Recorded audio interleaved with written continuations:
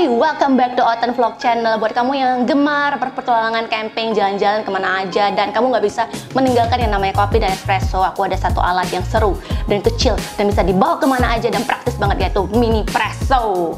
Bisa kamu lihat di depan saya ini benar-benar mungil. Ini seperti um, apa ya, namanya joystick juga bisa kamu lihat ya.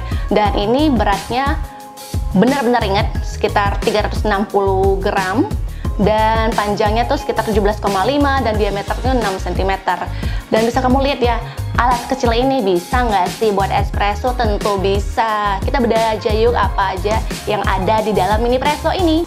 Oke di dalam mini presso ini terbagi atas cupnya dan juga ada basketnya.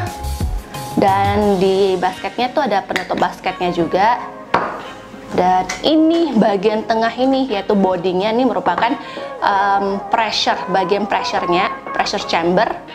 Dan yang terakhir water tank water tank oke? Okay?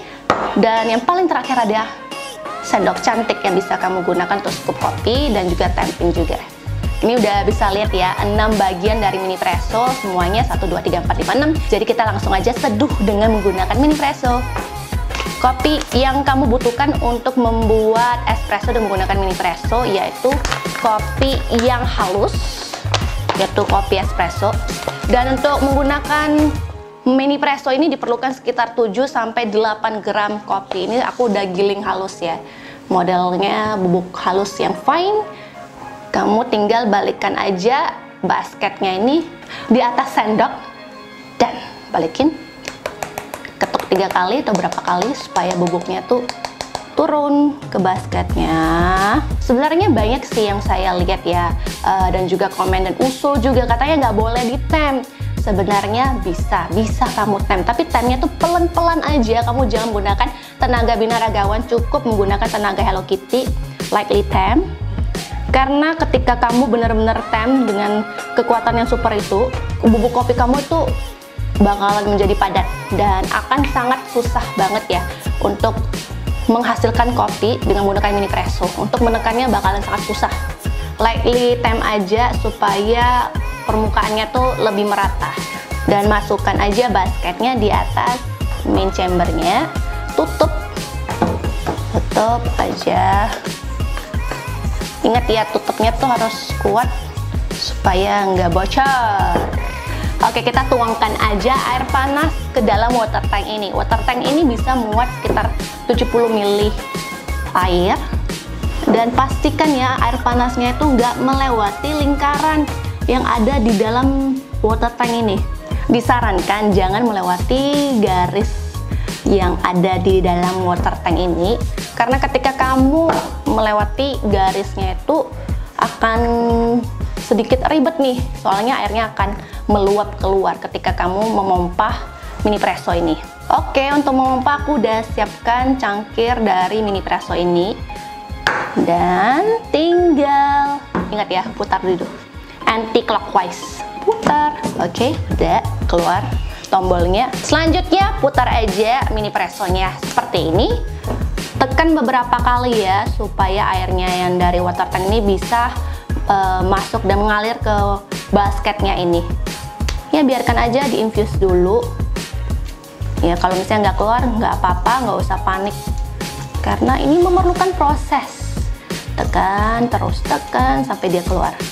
Sepertinya sudah mau keluar nih. Tekan aja pelan-pelan. Tuh lihat kremanya. Bagus banget ya.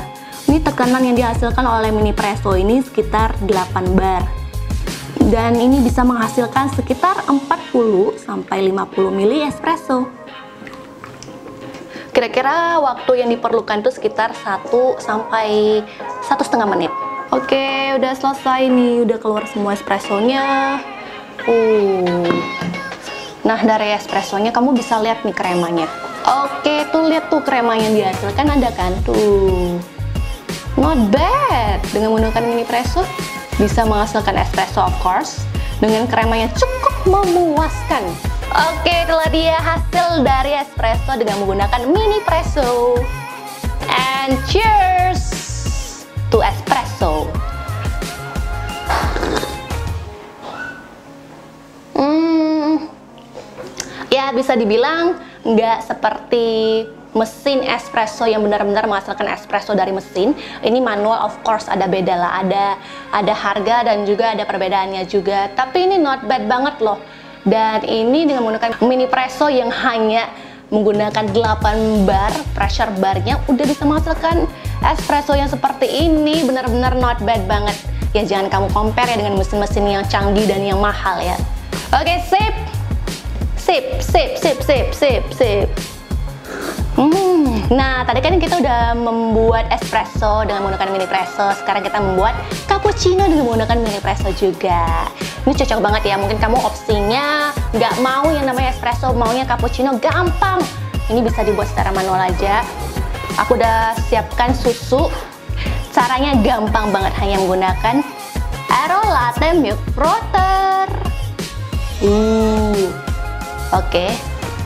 Caranya uh, masukkan milk frother ini ke dalam susu dan let's do the shake shake uh. oke okay. tinggal nyalain aja milk frothernya frotting susu ini diperlukan sekitar 30 detik sampai 1 menit dan setelah kamu rasa frottingnya udah cukup susu yang kamu mau juga udah cukup juga stop aja seperti ini belum saya masih memerlukan beberapa detik lagi jadi buat kamu yang nggak ada mesin, nggak usah kecil hati, pakai aja air latte milk frother ini. Ini lihat udah bisa menghasilkan susu yang ada busa-busanya. Nah ini nih yang saya maksud putaran toilet seperti putaran toilet yang bisa kamu lihat ya. Oke, okay. oke, okay. udah cukup. Nih bagus banget susunya juga mengkilat, rotinya juga bagus, dan foamnya juga cocok banget untuk dijadiin cappuccino. Selanjutnya adalah espresso.